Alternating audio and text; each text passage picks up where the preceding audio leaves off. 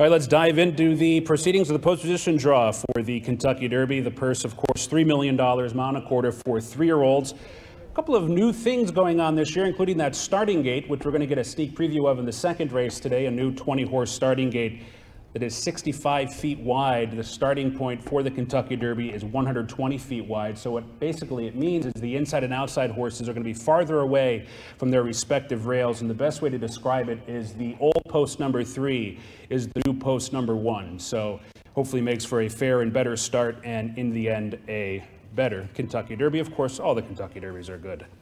Let's dive in. We'll draw the first nine horses, then take a brief break. 18 to go postward. Unfortunately, Art Collector came out this morning. We're sorry to hear that, but South Bend joined the fray at the last moment. So there's 18 still to go postward in the Kentucky Derby. Entry sheet and pill draw, gentlemen. Okay, here we go. Good luck, everyone.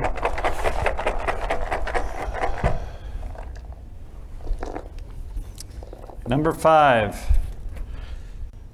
Five, Major Fed, James Graham. Number five, Major Fed. Bit of a tough luck horse. He's had either slow starts or very, very wide trips, but he's trained by Oldham County native Greg Foley, who had his first win as a trainer back in 1981 at the fairgrounds. Foley Racing is truly a family affair. He's assisted by his son Travis, who joined him in 2010, number five, Major Fed.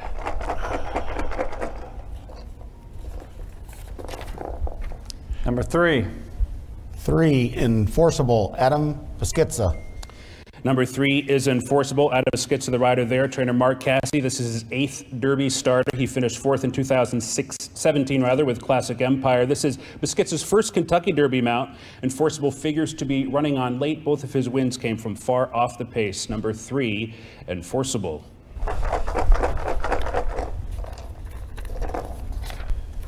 Number seven. Seven, Money Moves, Javier Castellano. Number seven is Money Moves for two-time Kentucky Derby winning trainer Todd Pletcher. Of course, won it with Super Saver and Always Dreaming. Money Moves is lightly racing. He's the only horse in the field to have raced against older horses. Everybody else has raced against three-year-olds throughout their career. Jockey Javier Castellano seeking his first Kentucky Derby. Money Moves, number seven. Number four. Four is Storm the Court, Julien Leparoux. Number four, Storm the Court. Number four, Storm the Court. Last year's champion two-year-old, of course.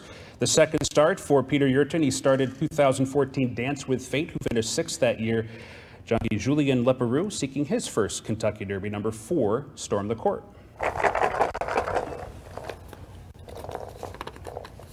Number eight. Eight, South Bend, Tyler Gaffalione. Number eight, South Bend, the latest edition of the Kentucky Derby happened just this morning, of course, trained by Bill Mott, who won last year's Kentucky Derby. South Bend at Deep Closer was most recently fourth in the Travers. He won his first three races, including the Street Sense, right here at Churchill Downs. That is South Bend number eight. Number 11. 11, Necker Island, Miguel Mena.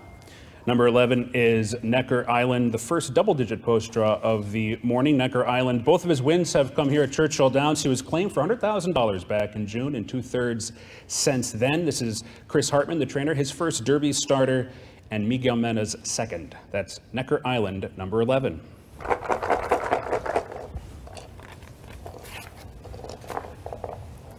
Fifteen. 15, New York Traffic, Paco Lopez. Number 15, New York Traffic. Number 15, this is Saffie Joseph's first Kentucky Derby starter. New York Traffic last time out narrowly lost the Haskell. It was his third second in a row, but he's had noticeable improvement over his last couple of starts. This will be Paco Lopez's second Kentucky Derby starter. That is New York Traffic, number 15. Number 13. 13, Attachment Rate, Joe Talamo. Number 13 is attachment rate for trainer Dale Romans, who's won 744 races here at Churchill Downs, is seeking his first Kentucky Derby. He's got two thirds, though, Dullahan and Paddy O'Prado. Dale said of attachment rate in this year's Derby, it's 2020. Anything can happen. Attachment rate 13.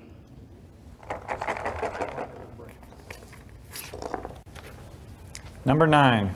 9, Mr. Big News, Gabe Saez. Number nine is Mr. Big News for Gabriel Saez. This is the second start of the Kentucky Derby for both Allied Racing Stables, Chester Thomas, and trainer Bret Calhoun. They, of course, ran by my standards last year. Will be seven to five in Friday's Alysheba.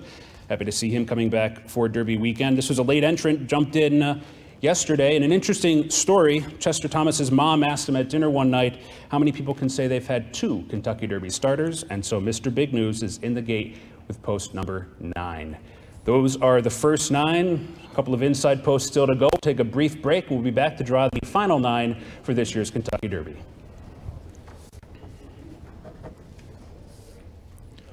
Nine down, nine to go, and uh, still some intrigue, but some inside post. His law honor AP awaiting uh, their draws. And uh, Brandon, I, I didn't see anything on the board right there that uh, really uh, made me shake my head. Yeah, I feel the same way. Uh, no real um, shockers in there, nothing to really worry about. A lot of mid pack closers seem like they came out of there, and they have to be happy. A, a horse like Major Fed that you know probably going to come from off the pace. Um, I would assume that Greg Foley is very happy, going to be able to save ground and take a little dirt on the inside, but maybe get some forward position and uh, maybe that rail even open up for him late. Yeah, that New York traffic post position on the outside doesn't really bother me either. He's got some tactical speed as we take a look at the first nine post positions, nine down, nine to go in an 18 horse field. And uh, yeah, you still got the inside two post positions left, Brandon. You still got some post positions on the extreme outside. I'd rather be on the extreme outside than on the inside, obviously, with that long run into the first turn. Yeah, you mentioned New York traffic. I think that's a great post for him. Go out and get position. Maybe a horse like Storm the Court, who does have tactical speed, may be forced to kind of go ahead and uh, go on with it from the inside. And uh, Money Moves drew well. I thought uh, really everybody, I think, has to be fairly happy in here. Yeah, the big names are still up there. You're still looking for Authentic. You're still looking for Honor AP. You're still looking for Tiz the Law, uh, which will dictate a lot of what we talked about earlier, how the pace scenario might develop with those big names still to come. A thousand words uh, as well. I mean, he's a horse that you would think would be forwardly placed. So still a lot of intrigue left for the second half of the draw, that's for sure. Yeah, and uh, you know, like I said, connections have to be happy, and uh, now we can really start to kind of dive into it a little bit. I'm sure the trainers, it's already going through their heads. They're kind of thinking about, okay, where do I want my horse to be? Um, so it'll be interesting to see once we uh, get kind of the bigger players in there, and really those top heavy players are the ones that are bringing that natural speed to the race. And we're going to find out where Tiz the Law, authentic, honor AP, and some of the rest will draw from Travis Stone right now. All right, welcome back. And here we go with the final nine post positions for this year's Kentucky Derby. Nine posts to go. Gentlemen.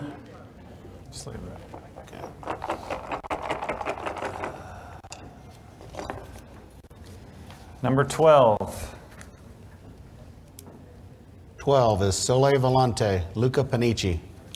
Number 12, Sole Volante for trainer Patrick Biancone. This will be his fourth Kentucky Derby starter. He ran second with Lionheart back in 2004. This is the first Derby start for Luca Panici. Interestingly, Sole Volante has done all of his training on turf down in South Florida. Sole Volante, number 12. 18. 18, Authentic, John Velazquez. Number 18 is Authentic with John Velazquez. Trainer Bob Baffert is second all-time in wins for the Kentucky Derby with five. Authentic is the Haskell winner, starting at the Kentucky Derby. You don't hear that too often. Authentic's only loss was to fellow rival in the Derby this year, Honor AP. Authentic has speed and figures to be part of the pace, number 18. Number six. Six, King Guillermo, Samy Camacho. Number six, King Guillermo with Samy Camacho, owned by Victor Martinez of Victoria's Ranch, a five-time Major League Baseball All-Star named for his dad. This is Samy Camacho's first Kentucky Derby mount. King Guillermo burst on the scene with a 49 to 1 win in the Tampa Bay Derby earlier this year, number six, King Guillermo.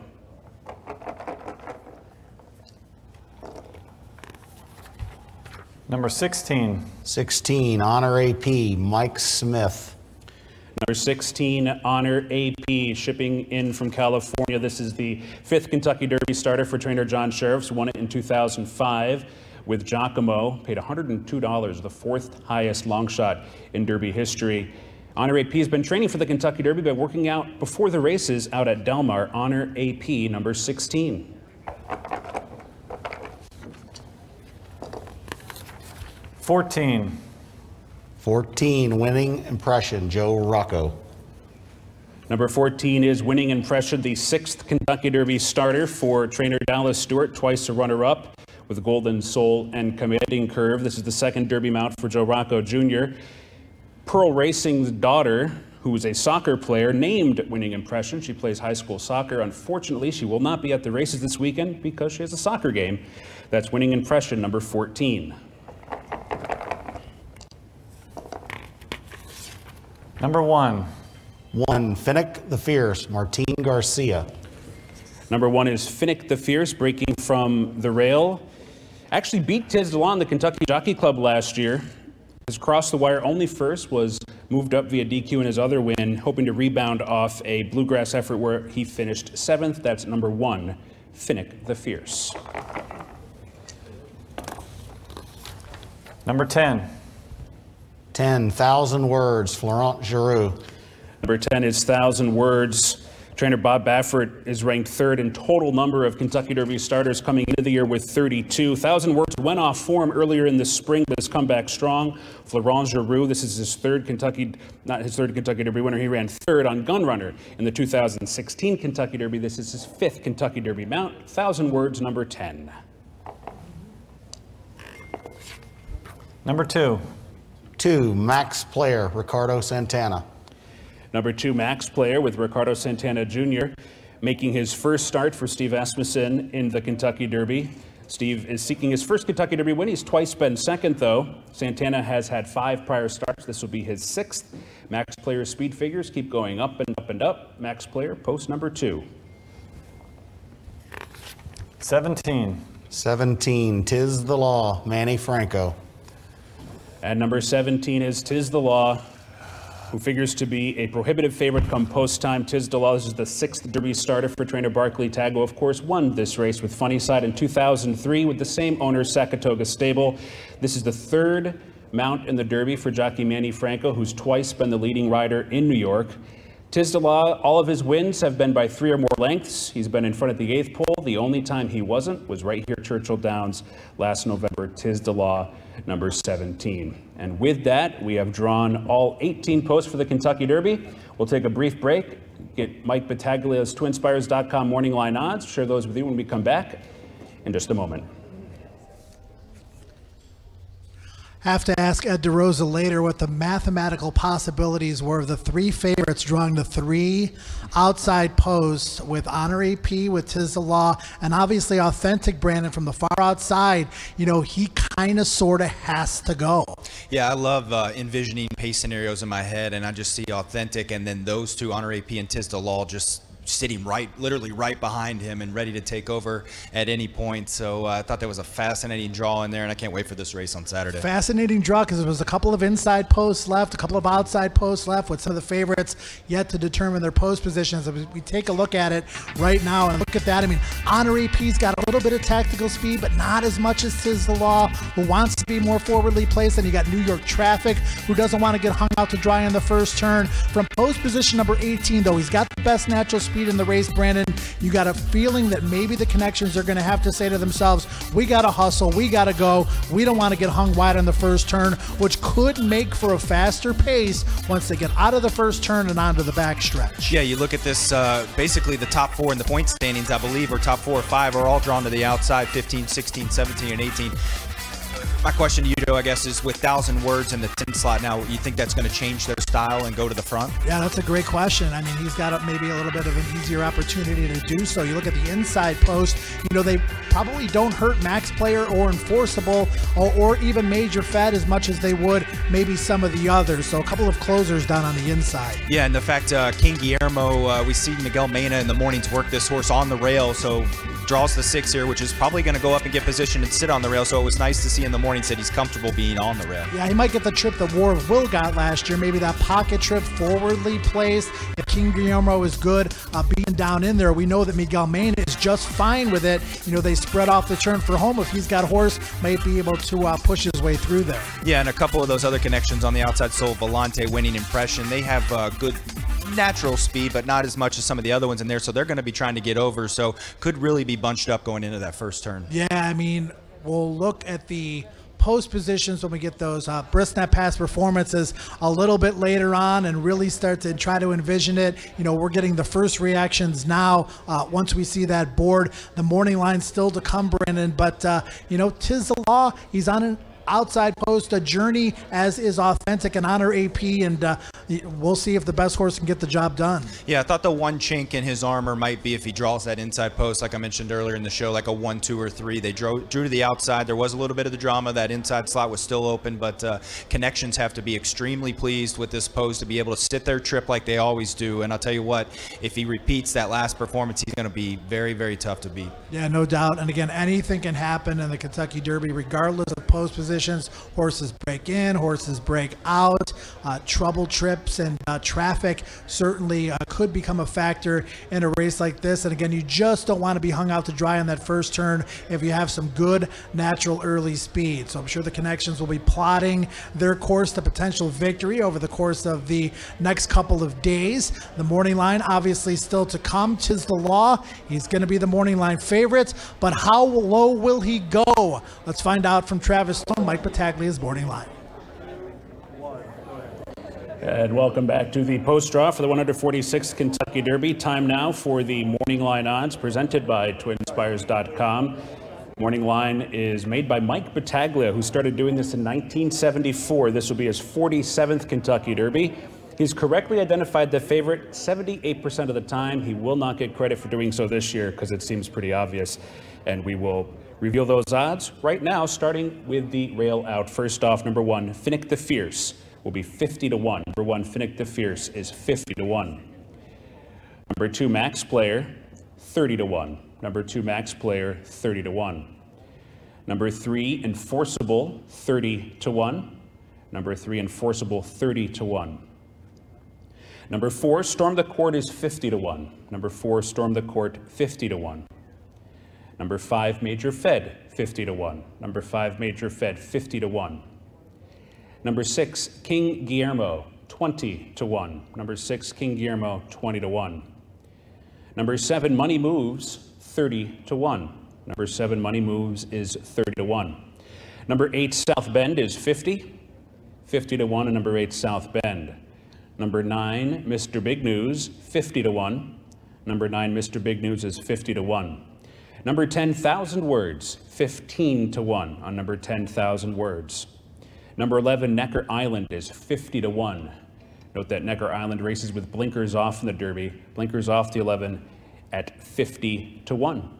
Number 12, Sole Volante is 30 to 1. Number 12 is 30 to 1.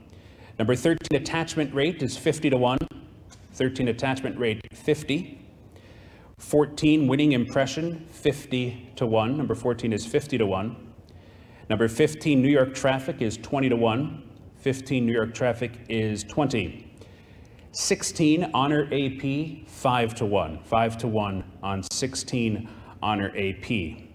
Number 17 Tiz the Law, who will attempt to become the first horse to win the Derby from post 17. 3 to 5 on the morning line odds for Tiz the Law. 3 to 5. The last time Mike Battaglia went 3 to 5 was back in 1989 with Easy Goer and Awe Inspiring. This is the lowest since he made Empire Maker 6 to 5 back in 2003. That's 17 Tiz the Law. And number 18 Authentic is 8 to 1 on the morning line. Number 18 Authentic is 8 to 1. That's the field, and those are the odds for this Saturday's Kentucky Derby. $3 million, mile Porter, three-year-olds. You can watch it on NBC Sports from 2.30 to 7.30 on Saturday. Listen to it on Horse Racing Radio Network. For the connections in the room, stand by after the press conference is over for a special announcement. Other than that, good luck everyone this week and with the Kentucky Derby. And even though this all feels weird and uh, in, in many cases sort of stinks, just remember that roses are still red in September. Good luck this weekend, and we'll see you later.